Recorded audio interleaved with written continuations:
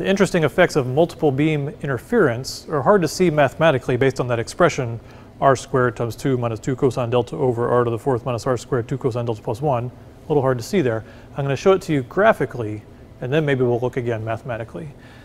So first, let's just see if our new expression is accurate. So here is the old result, where we only considered the 4%, the almost 4%, and we ignored everything else.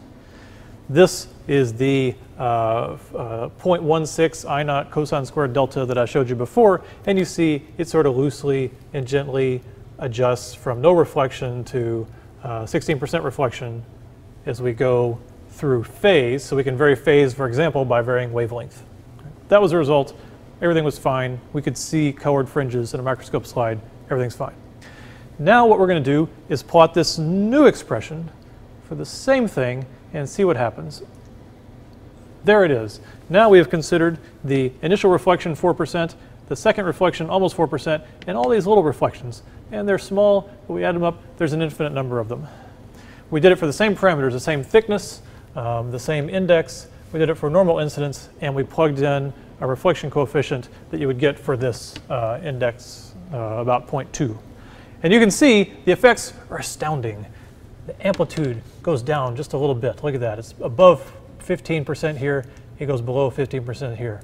Here, it was hitting a minimum just past 500 nanometers. And now, look at that. It's at about 490 nanometers. Pretty exciting. Well, it's not really that exciting. So the point is, for just a piece of glass, index 1.5, this was a pretty good approximation. It's actually true for a piece of glass that pretty much everything is defined or is set by these first two reflections. Even though there's an infinite number of those other reflections, they're too small to add up. So when you add them all up, it has essentially no effect. The more complicated formula gives almost the same answer as a simple formula. But now, let's do something else. Now, let's make R higher. I don't care how, we're just going to make it higher. We haven't talked about what happens with Fresnel's equations at a metal, but basically if you put a metal on here, you can get a little r instead of 0.2, you can get up to 0.5 or 0.9 or get as high as you want. Okay, we didn't do the math, it comes out, uh, uh, the result for here is the same. So don't worry about y, but we're going to set little r to about 0.9. Okay, little r is very high now. So if little r is very high, this is what the double beam formula does. And this is sort of what you would expect. If little r is high, this reflection is very strong, not much gets through. It's well reflected here, and maybe it gets through decent there. But now this beam is much stronger than this beam because the reflectance is so high. The, reflect, the coefficient of reflection is so high. So that's why there's still interference, but it is largely muted right? because you're pretty much looking at this beam with a little bit of interference by that beam. So that's what the double beam formula predicts. And here is what the full formula that includes all the infinite terms looks like. Okay, now that's different, right? So now we know that this one is huge, small, small, small, small, small, small, small, small, but you have an army of small reflectances. Their amplitudes are bigger. Less light is going to go through. So something can happen, and right here, something really big happens, right? So let's make sure we understand this. At most wavelengths, this essentially reflects all the light. Okay, so you get your big reflectance due to this, and these just don't get together and do much.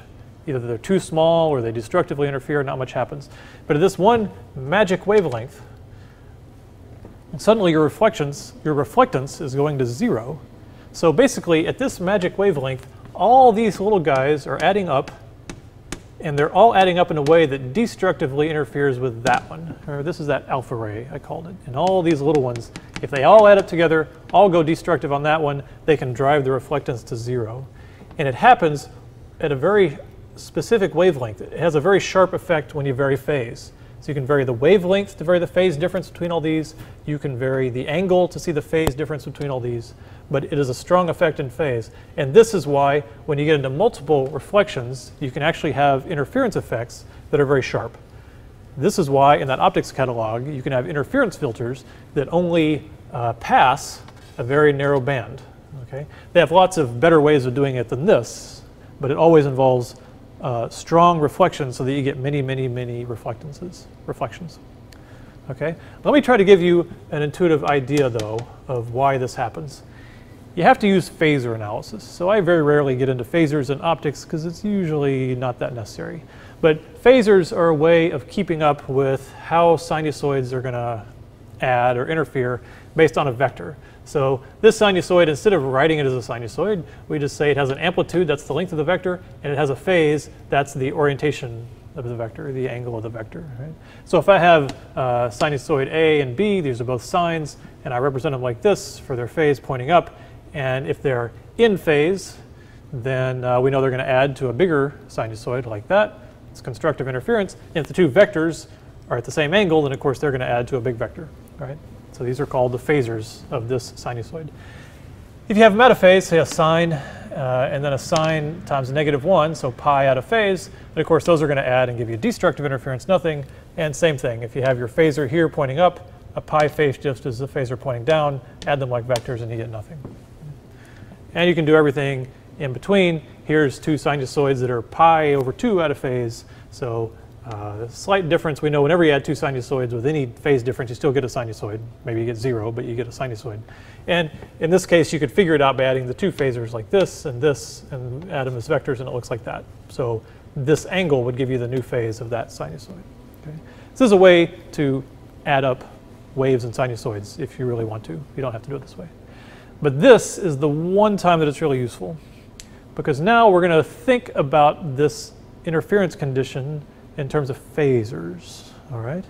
So let's look here, we're back to our just our, our reflection uh, uh, where the, the double beam formula was accurate, just a piece of glass. Reflectances are low, coefficients of reflection are low.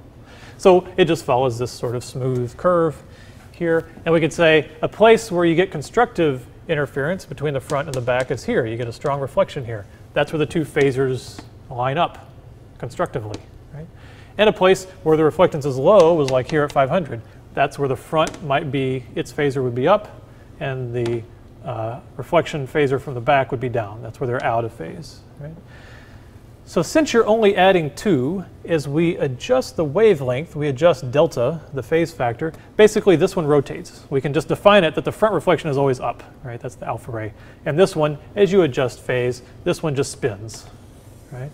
And so say if you go lambda over 20, so a 20th of, a wave, of the wavelength off of the constructive interference, this turns a little bit and the phase, the amplitude isn't that different in the phase, it doesn't do much, right? So it's slightly less constructive and you get that. Okay.